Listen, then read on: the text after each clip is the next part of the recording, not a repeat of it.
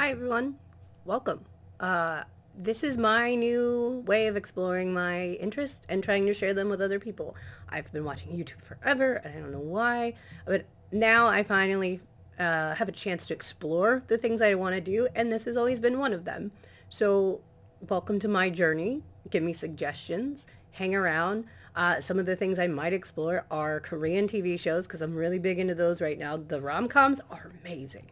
Um, I might have conversations with my husband, which are usually entertaining, but they are, we have squirrel syndrome hard.